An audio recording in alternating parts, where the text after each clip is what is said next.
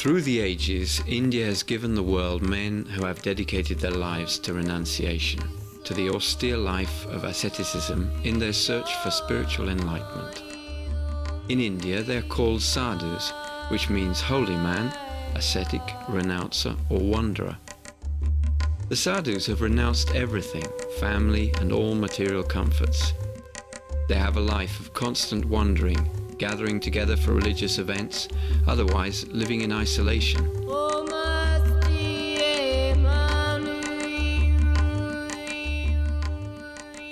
In spite of the rapid changes in Indian society, the people continue to embrace their ancient teachings of asceticism as a means of approaching the divine state. And so sadhus are highly respected among the population and are venerated as saints. It is believed that there are between 8 and 10 million sadhus living in India today.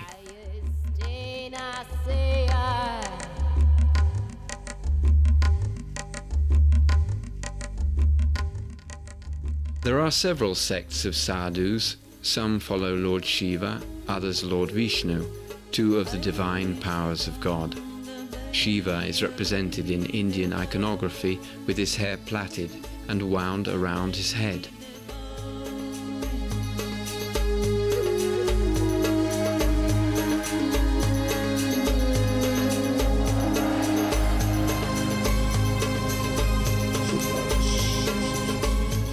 Shiva sits in a yoga position in eternal meditation. He lives in the forests high in the Himalayas.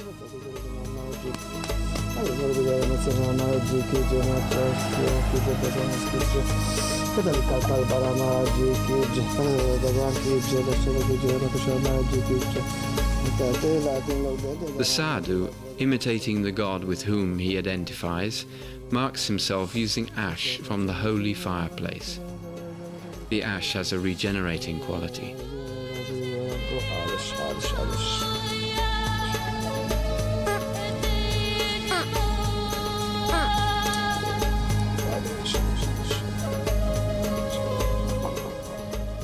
The sadhu gives and radiates spiritual energy.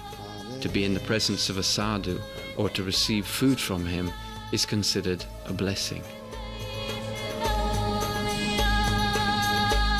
This the fireplace in India they call dhuni, dhuni, dhuni. It's the only fireplace.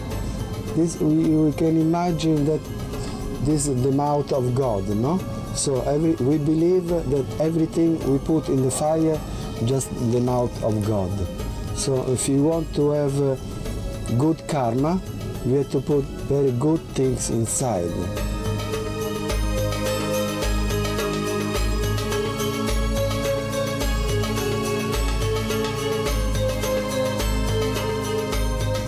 Here in India they consider me as a holy man, no? They don't see me as a Westerner because I am from Roma, Italy. They see me as a saint. They treat me as a saint. Wherever I go, I got free ticket in the train, in the bus, everybody give me food, wherever I go.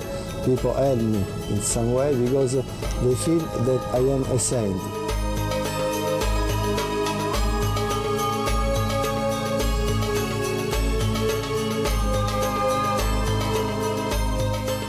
They take the offering, what people give. No, they don't go around to ask money. This is not for Baba. The people, the Baba sit, so the people give to the Baba. Sadhus, or Babas as they are sometimes called, do not have a permanent home, so the temple grounds are often a place where the sadhu may stop to make a temporary home. He carries just enough to make a simple bed.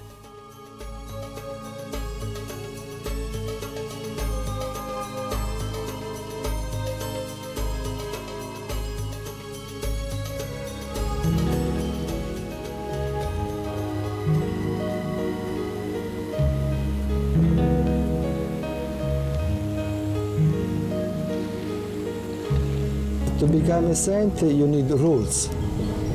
You need many rules. Every day you have to pray, every day you have to get up early in the morning, take bath, and one hour pray.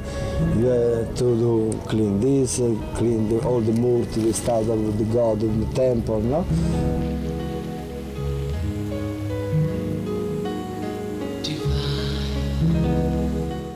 Sadhu devotes many hours of his day to worship in the temple. His duties include cleaning the temple and placing fresh flowers.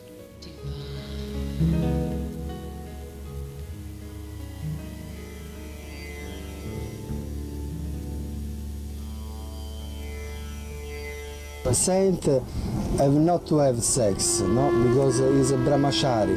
Brahmachari means that you have no wife. So most, 90% of the Baba they go around, they, they are sad, holy men, so they go in the cave, they go all around. They have no time to have uh, this wife on the back, no?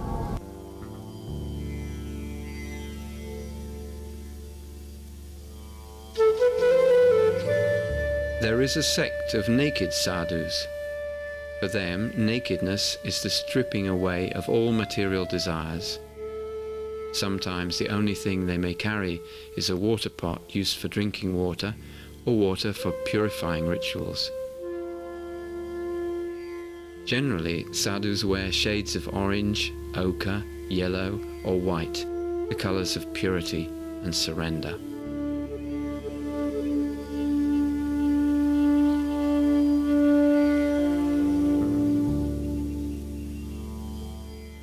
Observing the age old laws of yoga exercises and meditation, the sadhu is able to control the flow of energy through the body. work is uh, to keep balance, no?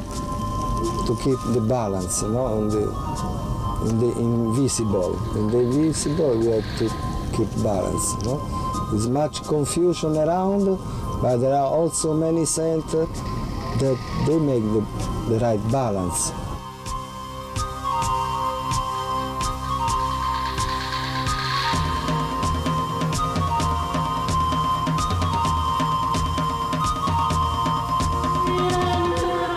By controlling the energy along the meridian lines and chakras, which are doors to universal energy, the sadhu is able to have great power over his body.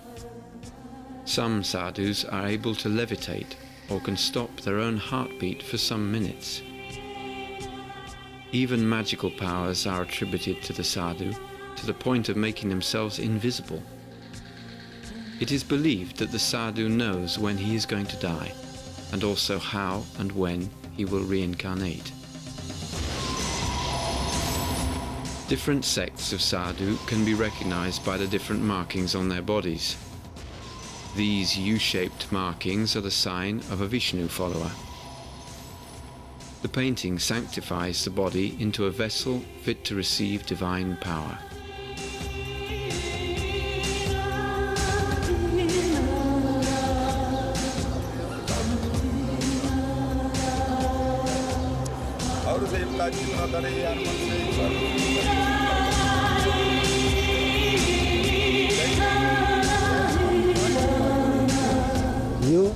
Identify yourself with God. So the main yogi say to realize God, you have to eliminate the duality between you and God. No? No more two, only one. So me and you, the object of my meditation is God. No? So I'll become as God, same.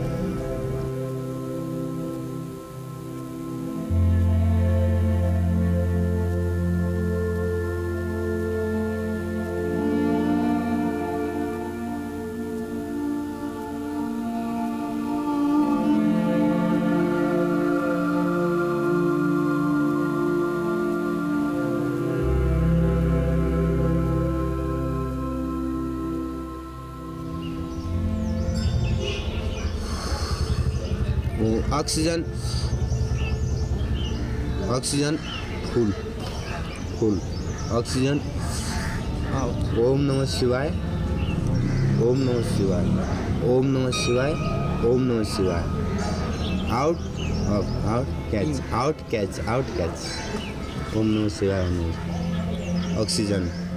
Yes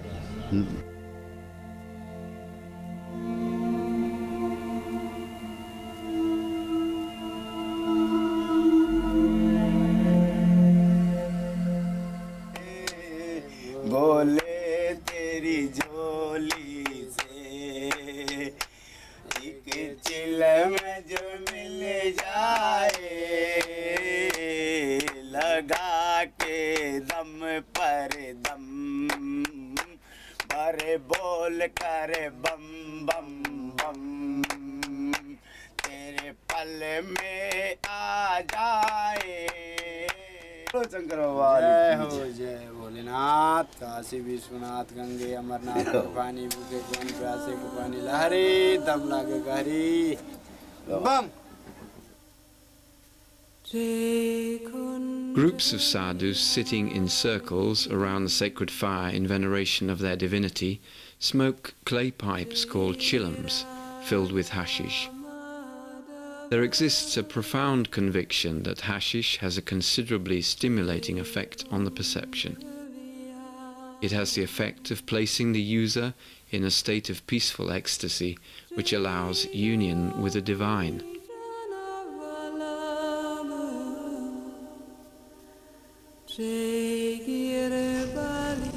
The symbol for the chillum is that. The, the chillum is like Shiva Lingam. You see, it's standing, no? It's Shiva Lingam.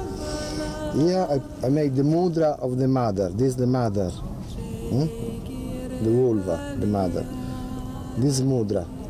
When I put the chillum here is a Shiva Parvati, Shiva Shakti. Hmm? This is the symbolism.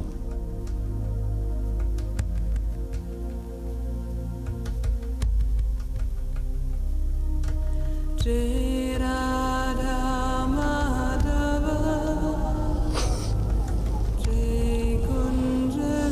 I smoke chilo, I call the god I like, Shiva.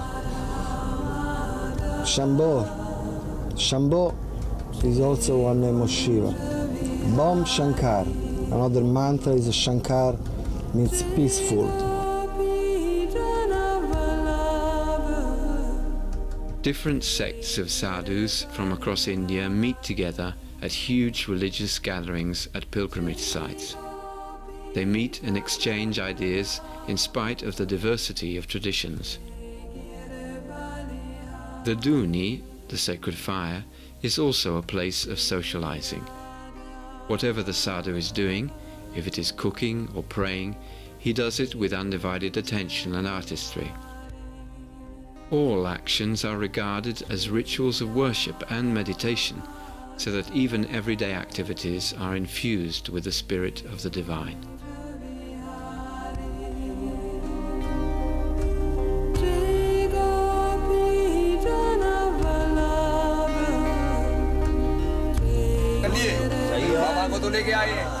और मिलेंगे लसने में हमको कैसा दिन नहीं मिले कम से कम ये और ये क्या है जो India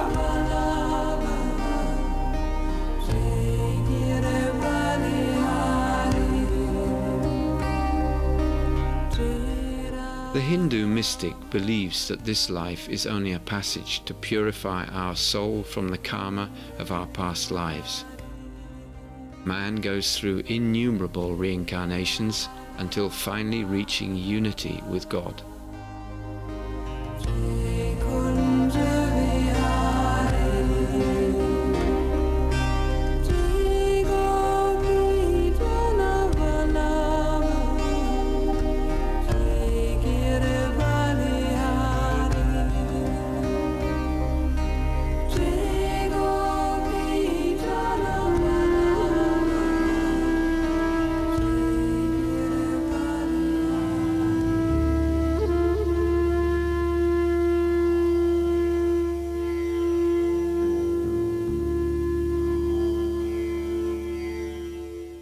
Many sadhus travel constantly from one sacred place to another, sometimes crossing the whole of India on foot.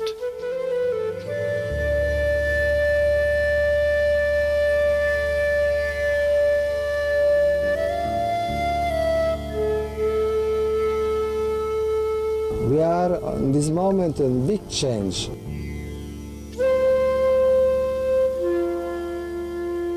Change and that mean the people will get more every day more more consciousness. Who we are, why we are here. so if you know that we are here in good way, no? So we will change the world. Why not?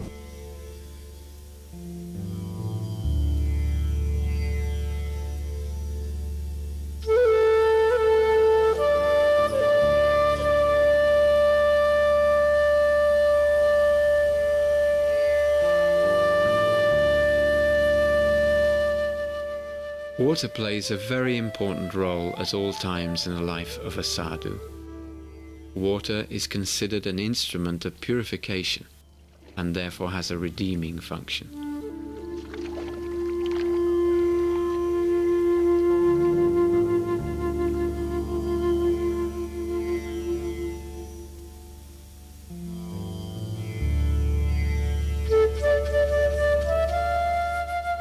The sadhus stay for long periods of time at sacred sites in the Himalayas and along the holy river Ganges. The source of the Ganges is particularly sacred. Sun is God, moon is God, star is God, tree is God, stone is God, water means God, everything God. Not a problem. Looking God, asking God, eating God, giving God.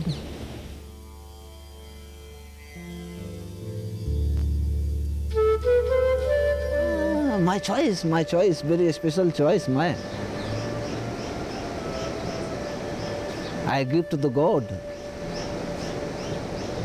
I present the God.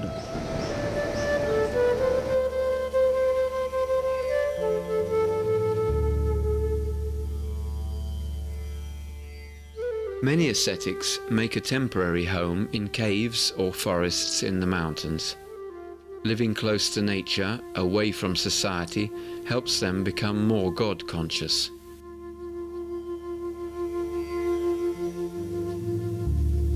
Mountain is very interesting place. I feel best. I yoga and meditation.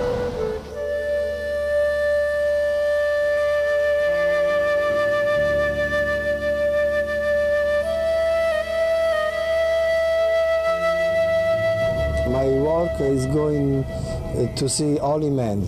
So wherever there is a big Baba, holy man, I hear about holy men, so I go to see them, no? To have their blessing. So sometimes they become a guru, no?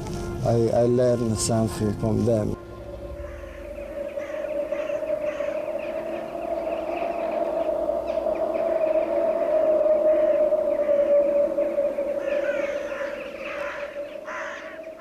Many sadhus carry a trident, which is a symbol of the three divine powers of God Brahma, Vishnu, and Shiva, the creator, the preserver, and the destroyer. all the reality we see around us is all symbolic, no? So we have to relate our mind to the symbol. We want to find what reality is. This symbol goes on since million of years before. It's not 2,000 years before, it's not 5,000 years before, but this symbol goes on since million of years. the, the religion like the rainbow, different color, no? We have green for Musulmano, um, or uh, yellow for Roman Church, and red uh, can be Hindu. Every religion has one color, no? You put all the religion all together, it's a rainbow. is the rainbow. But the light is only one, no? Like uh, arcobaleno rainbow, just like illusion, no? The light is one. It's not the two light. Oh, uh, shh, guarda, shh. Bam, bam, bam, bam.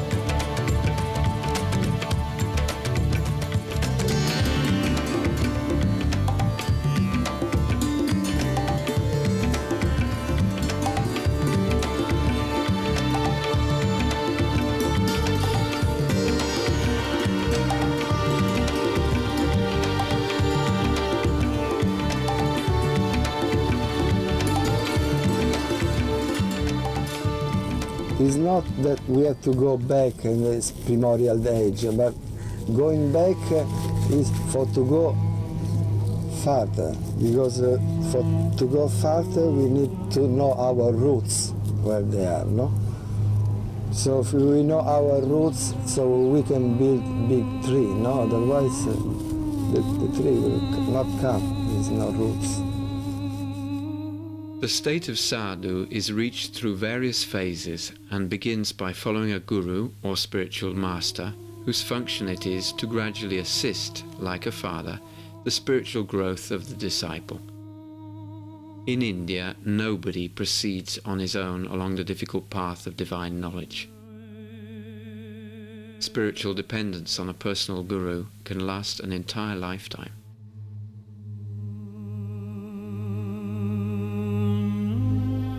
To be a sadhu to renounce so many things, no? Uh, from inside, you know, you have to renounce, and also from outside or from inside, no? And one inside is also that you are a sadhu, you have to leave everything, no? Even uh, that where you're from, you have to leave, no?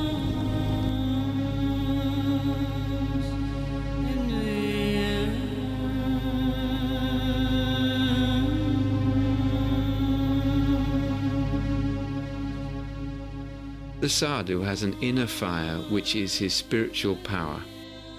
Renunciation is the way to release this spiritual power and can be in the form of great physical austerities, but today mental renunciation has become even more important.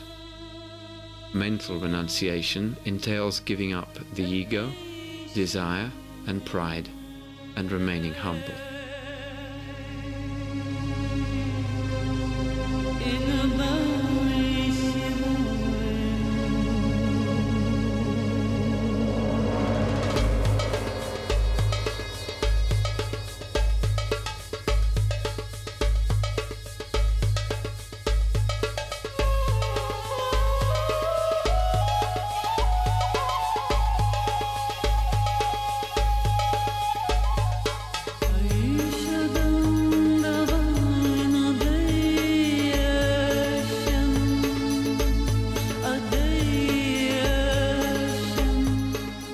The sadhu, life has only one meaning a union with God. It is an eternal walk, and along the way they maintain a rhythm and observe their rituals religiously. They are never in a hurry.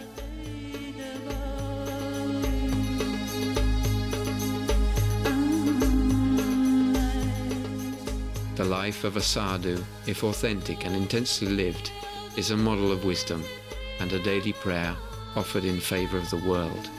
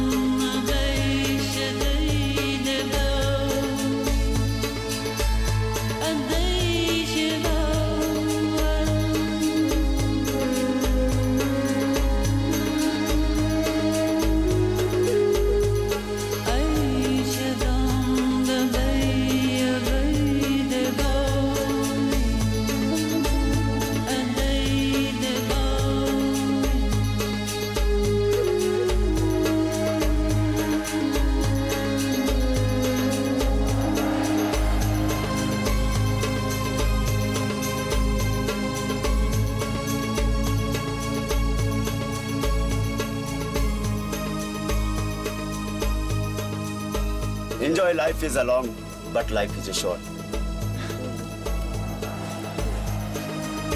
Enjoy life is a long, but life is a short.